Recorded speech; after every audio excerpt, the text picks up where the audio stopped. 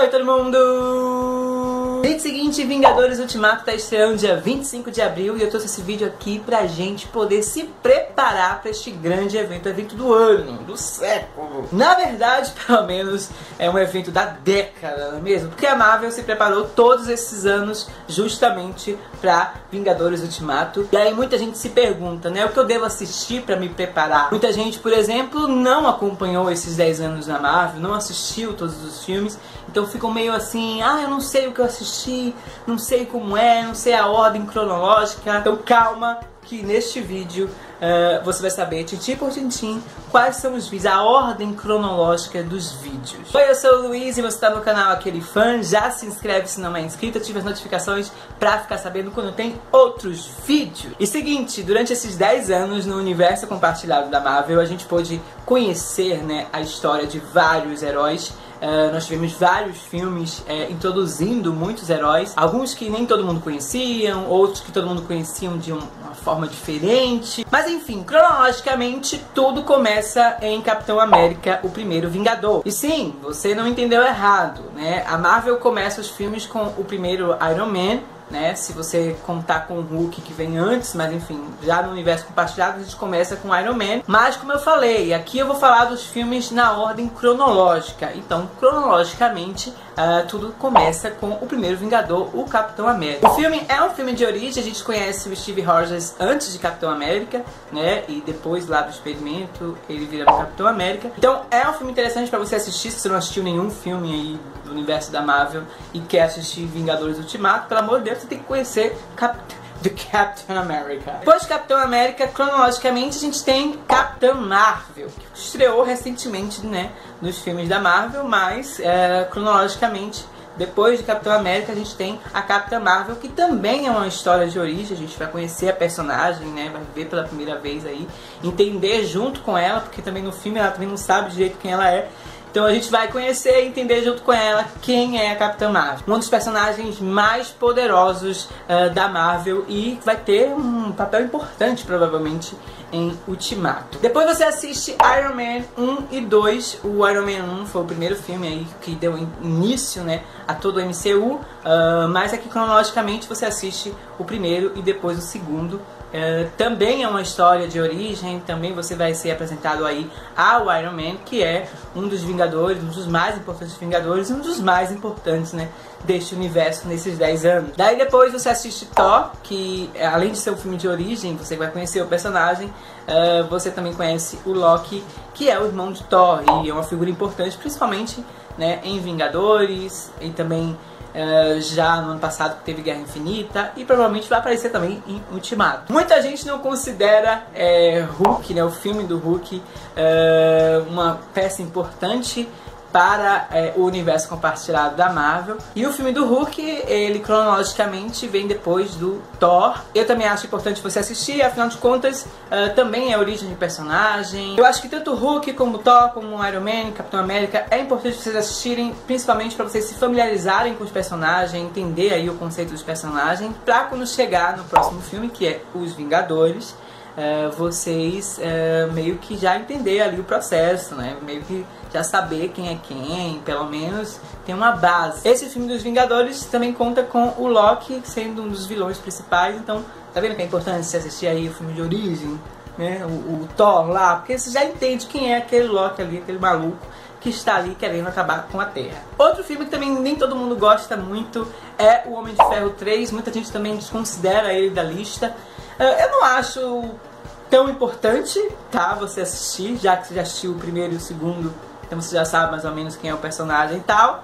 Mas, né, cronologicamente ele vem depois de Vingadores. Depois nós temos o Capitão América, o Soldado Invernal, que pra mim é um dos melhores Capitão América e as melhores cenas de ação uh, estão nesse filme.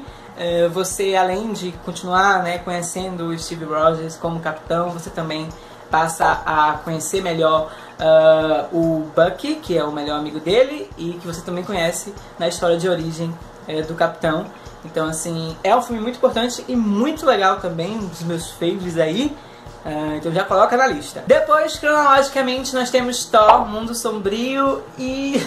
Gente, eu tenho minhas ressalvas sobre esse filme, tá? Mas eu ainda acho que você deve assistir porque você continua também aí é, conhecendo o universo de Thor, principalmente até pra Thor Ragnarok e para os Vingadores também, tá? Você vai se familiarizando melhor com Thor. Daí depois nós temos os Guardiões da Galáxia, que é tipo essencial para vocês assistirem, é muito importante vocês assistirem. Uh, além de ser um filme muito divertido, os personagens são super cativantes, as cenas são de ação são bem legais. Uh, e também é uma história de origem, então é importante vocês assistirem para conhecer os personagens. E são super importantes para esse final aí de universo estendido desses 10 anos da Marvel. Então, sério, assiste. Depois nós temos Vingadores, Era de Ultron, segundo filme dos Vingadores, né? Deles se reunindo novamente. Uh, e depois nós temos o Homem-Formiga, que é também um filme de origem e eu acho super importante vocês assistirem. Por, até porque, né? Neste último filme, o, o Ultimato, né, o Vingadores Ultimato, provavelmente Homem-Formiga também vai ser peça importante no filme. Então, pelo menos esse filme se assiste porque você vai conhecer o personagem. Muita gente tem um preconceito com Homem-Formiga. É um Homem-Formiga, velho. Daí depois nós temos Guardiões da Galáxia 2. Muita gente pode pular este filme, já que já conhece os personagens. Eu não pularia porque acho que eu criei um afeto maior pelos personagens, conhecendo mais eles uh, através do Guardiões da Galáxia 2, então eu não pularia se fosse você. Depois nós temos Capitão América Guerra Civil, que é um dos meus filmes favoritos também. Eu sempre digo que um dos meus filmes favoritos do Capitão América mas é porque eu amo Capitão América, é um dos meus personagens favoritos. Esse Capitão América Guerra Civil é praticamente um filme dos Vingadores, porque tem vários heróis juntos. E a gente também é apresentado ao Homem-Aranha, né? Dentro do universo compartilhado da Marvel.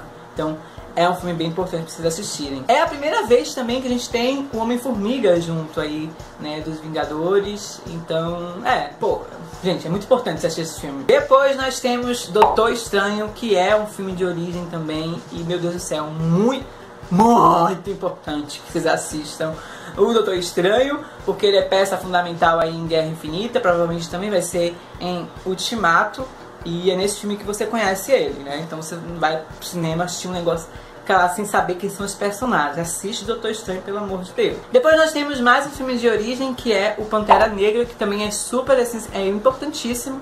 Mesmo que em Guerra uh, Civil a gente tenha conhecido né, o Pantera Negra, aqui a gente tem a história de origem mesmo, saber mesmo onde vem, como é que faz, como é que não faz. Conhece Wakanda, que é muito importante em Guerra Infinita. Então, assista. Depois a gente tem mais um filme de origem que é o Homem-Aranha, né? O De Volta ao Lar. Uh, a gente conhece o Homem-Aranha do Tom Holland. Uh, é um filme muito importante, não só por ser meio de origem, mas também para vocês entenderem a relação dele com o Tony Stark, né? O MCU criou muito essa relação entre os dois.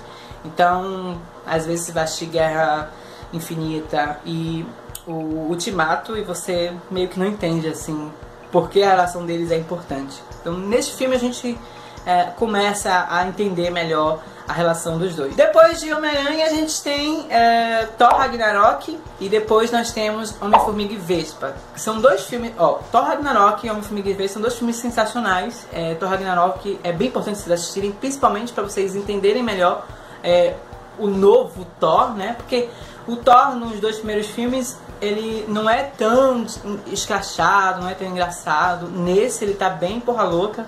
E é essa vibe que ele tá, assim, né, em Guerra Infinita, pelo menos nas partes que dá pra ele ser engraçado. Uh, que deve ser também a, a, a, como ele estará em Ultimato. Então é muito importante assistir Thor Ragnarok e é muito importante assistir Homem-Formiga e Vespa, porque Homem-Formiga e Vespa ele fala muito sobre o universo quântico, que é algo que provavelmente também teremos em Ultimato. Daí agora você pode tranquilamente assistir Guerra Infinita, né, e ver todos os personagens e saber, ó, oh, eu conheço aquele ali daquele filme, eu conheço aquele cara daquele outro filme, uh, sem problema. E dia 25 agora de abril, assistir Vingadores Ultimato. Gente, ó o hype tá lá em cima, você vê?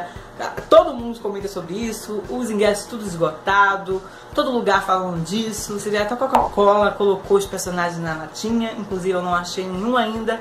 Estou frustrado com isso, preciso. Então assim, sério, hype lá em cima. Mas aí você deve estar se perguntando, Luiz, são muitos filmes. Se você pudesse dizer assim, ah, assista só um ou outro aí, pra pelo menos dá pra assistir Guerra Infinita e Ultimato. Eu diria o seguinte, preze pelo menos os filmes uh, de origem. Então, Iron Man, Capitão América, Thor, Hulk. Gente, sério, não é piada. Hulk, pelo amor de Deus, assista. Doutor Estranho, Pantera Negra, Homem-Formiga, Guardiões da Galáxia. Pelo menos o primeiro filme de cada um. Sério, é muito importante para vocês entenderem a origem do personagem, saber quem são, e aí você vai assistir Os Vingadores tranquilamente. Eu espero que eu tenha ajudado vocês de alguma forma. Então comentem embaixo se vocês assistiram todos esses filmes, se falta algum para assistir. Qual é o favorito de vocês que eu quero ficar sabendo. A gente se vê no próximo vídeo. Então é isso. Falou! Tchau!